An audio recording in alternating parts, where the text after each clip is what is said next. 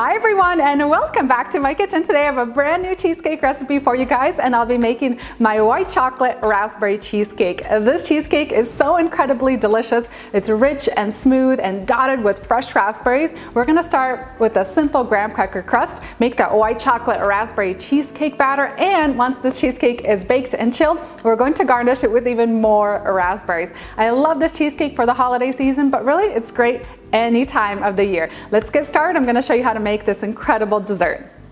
And for today's recipe, I'll be using a 9-inch springform pan and I'll be using a water bath method to bake the cheesecake. So I've already wrapped the bottom of my springform pan with some foil. I like to use extra wide foil and then I use two sheets of it just to make sure that no water seeps into the crust. So now let's get started with that graham cracker crust. I'm going to place 10 graham crackers into my food processor. And I'm going to pulse the cookies for a few minutes until fine crumbs form. Next, I'll pour in a quarter cup of melted unsalted butter. And then pulse this for a few seconds until the crumbs are well coated. And then transfer the crumbs into the springform pan.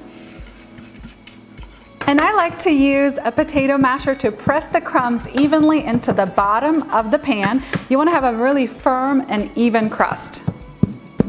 And now that we have the crust done, we can get started on that white chocolate cheesecake batter. So today I'm going to be using four 8 ounce bricks, so that's 32 ounces total of softened cream cheese. I'm going to drop it into my mixing bowl. And the secret to making a really great cheesecake is to mix this cream cheese all on its own for a good 8 to 10 minutes on medium to high speed until it's really creamy and smooth.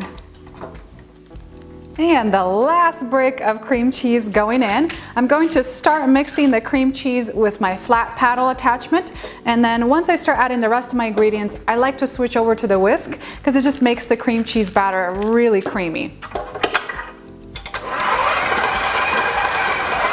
And then I recommend stopping the mixer every minute or so and then grab your spatula and scrape down the sides of the mixing bowl to ensure that every little bit of cream cheese is creamy and smooth.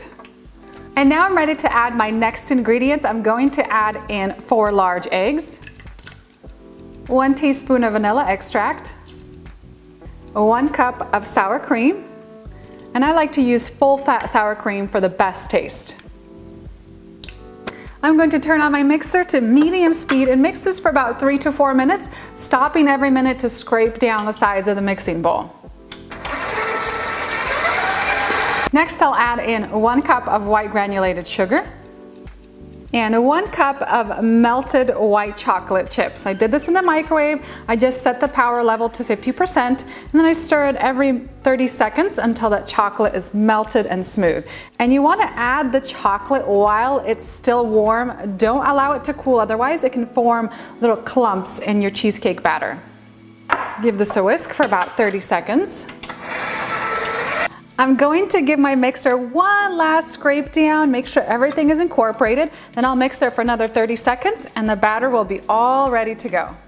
And this cheesecake batter is so creamy and smooth. I absolutely love the texture of this batter. We have just one last thing to add and that's our raspberries.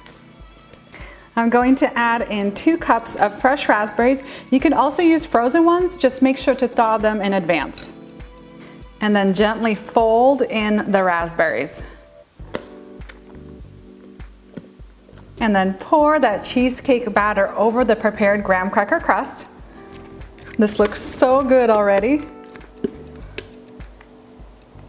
And I'm going to use an offset spatula to level off the top of this cheesecake.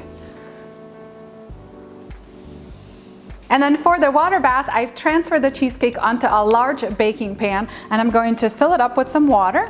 And this will help prevent the cheesecake from cracking on the top and it'll give it a really nice and level top. And my cheesecake is ready for the oven. I have mine preheated to 300 degrees Fahrenheit and it's going to bake at that temperature for two hours. Once it's done baking, the center will be just slightly wobbly and then the sides will be more firmly set. What I like to do once it's done baking is to turn off the oven and then just prop the oven door open with a wooden spoon by just a few inches and let the cheesecake slowly cool for a couple hours, come down to room temperature. Once it's cooled, I'm going to place it into the refrigerator and let it chill overnight and we'll come back tomorrow to garnish it with some more fresh raspberries on the top. And while my cheesecake is cooling overnight, it's the perfect time to prepare a simple raspberry sauce. I have three cups of frozen berries in my pot. You can use fresh or frozen for this recipe. I'm going to add in half a cup of white granulated sugar. Going to combine these raspberries and sugar together and then heat them over medium heat until a nice sauce forms. And once the berries come up to simmer, I usually let them cook for about five to six minutes until the berries fall apart completely and then you should have a really nice jam form.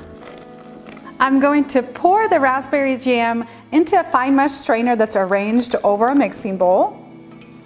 And I'm going to use my spatula to press the sauce through the strainer, leaving the seeds behind. And this is the beautiful raspberry sauce that forms after you press all the sauce out of the seeds.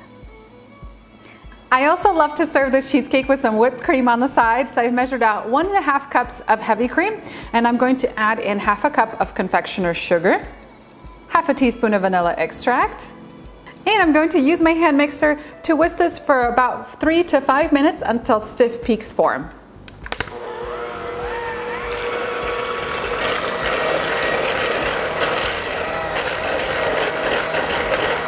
And my cheesecake has chilled overnight and now it's time to garnish the top. I have my raspberry sauce done, my whipped cream, I have some more fresh raspberries I'm going to add onto the top. The first thing you wanna do is release the spring form. You wanna do that gently.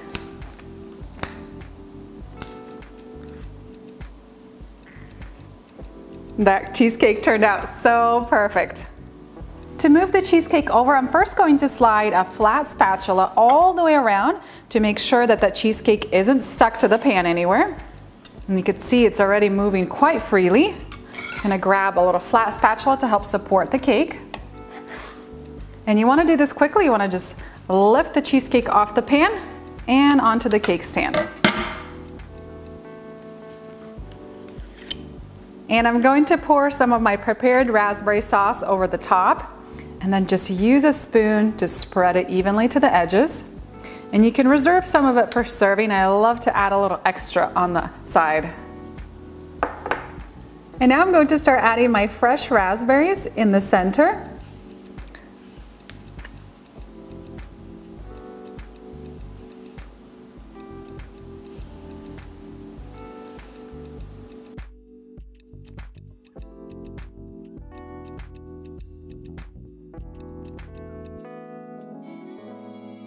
I'm going to add a really light dusting of confectioner sugar on top and garnish with a few fresh mint leaves. And now let's cut into this stunning cheesecake to see what it looks like on the inside. And I can't wait. I love the addition of the whole raspberries. And check this out. Isn't that one stunning slice of a white chocolate raspberry cheesecake? Looks so pretty with the whole raspberries on the inside there. We have the raspberry sauce on top. This is going to taste so phenomenal. Going to add a little bit of extra raspberry sauce on the top. And I'm going to pipe a nice generous amount of some whipped cream on the side.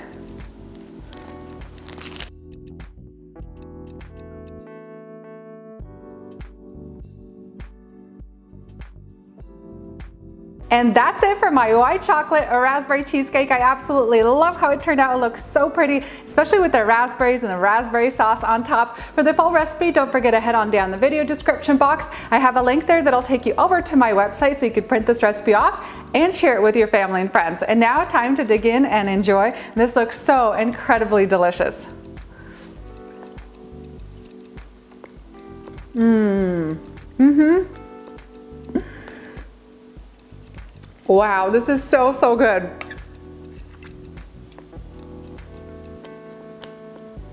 This cheesecake is ridiculously delicious. You guys are going to love it from the very first bite. It is so rich and velvety smooth and creamy and I absolutely love the addition of the tart raspberries in the cheesecake batter and then the fresh raspberries and the raspberry sauce on top. This combination, the white chocolate cheesecake with the tart raspberries is heavenly. So incredibly delicious. It's going to be perfect for the holiday season, and really any time of the year when you want a really, really delicious cheesecake. And I love the whipped cream on the side. It's really light and fluffy and it's the perfect complement to the rich and creamy cheesecake. If you guys are looking for an incredible dessert recipe to enjoy, Uh, this is it. Don't forget to head on down the video description box for the full recipe. Thank you guys so much for watching and I hope you enjoy this cheesecake at home as much as I do.